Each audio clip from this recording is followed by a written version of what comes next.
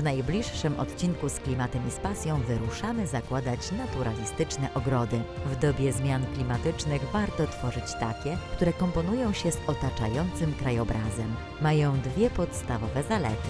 Są ekologiczne, a ich pielęgnacja nie wymaga ani dużych nakładów finansowych, ani pracy. Nawet w dużym mieście możemy stworzyć e, taką bioróżnorodność. Niedziela, Polsat News, 16.30.